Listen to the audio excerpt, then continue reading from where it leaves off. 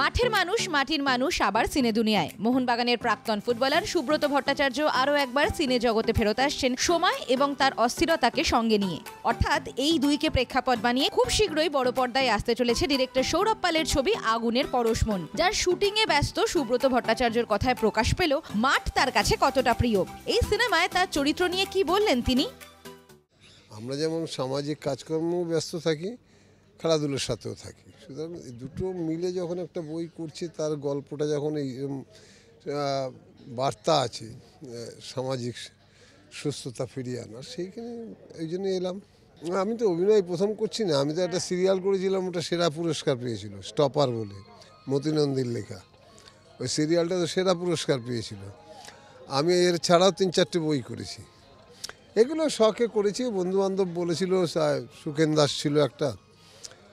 দাস ছিল অলোক ভৌমিক ছিল এরা অনেকেই আছি যারা জয়ন্ত পুরকাস্ত ছিল। সুতরাং এসব আমরা তখন করেছি একটু গেস্ট আর্টিস্ট হিসেবে।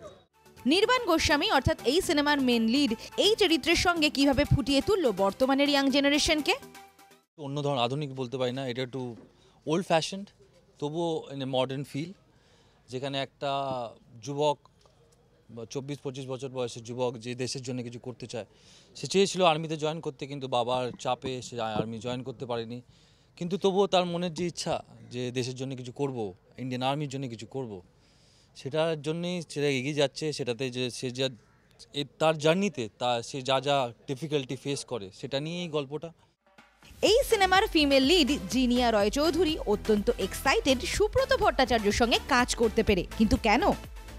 একটা দুর্দান্ত ক্যারেক্টার, প্রতিবাদী চরিত্র। আর ছবিতে সুব্রত ভট্টাচার্য বা বাবলুদার সাথে কাজ করার এক্সপিরিয়েন্সটা ভীষণই ভালো। এমনি বাবলুদাকে পার্সোনালি আমি চিনি। আমার সঙ্গে ফুটবলের একটা যোগাযোগ আছে, আমাদের একটা ফুটবল ক্লাব আছে। তো বাবলুদা তার সঙ্গে জড়িত। তো মাঠে অনেকবারই দেখা হয়েছে, কিন্তু শুটিংয়ের ফ্লোরে কখনো দেখা হয়নি। এবার হলো ডিরেক্টর সৌরভ পাল বিস্তারিতভাবে বললেন এই সিনেমার ব্যাপারে। ঐক্যবদ্ধ করতে হবে শ্রেষ্ঠ ভারতবর্ষ করতে হবে সারা বিশ্বের বুকে। এটা সবাই চায় একটা ভারতবর্ষ হিসেবে সবাই চায়। অভিনেতা বিশ্বজিৎ চক্রবর্তী বললেন বর্তমানের সামাজিক পরিস্থিতিতে এই সিনেমার প্রয়োজনীয়তা কতটা?